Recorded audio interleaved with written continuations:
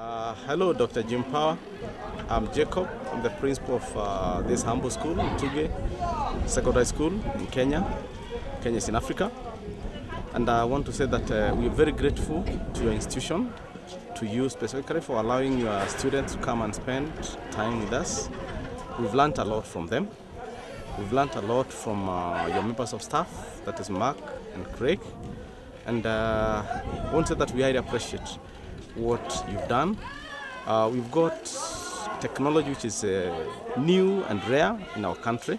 Actually, I would say that uh, our school is one of the uh, highly privileged to have that kind of technology. And uh, I want to say that your laptops have really exposed our kids.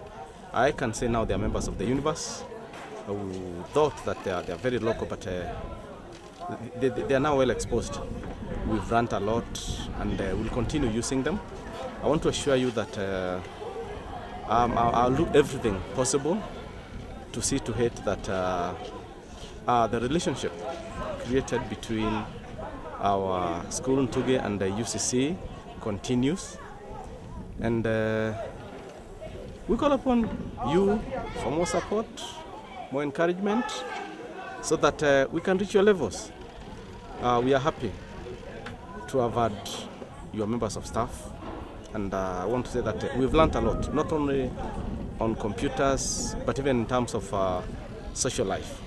And at this point, I want to wish them all the best through you. Uh, the young boys, I call them the, the, the, the soldiers. Uh, that is Andam, Akona, Amol, and Derek.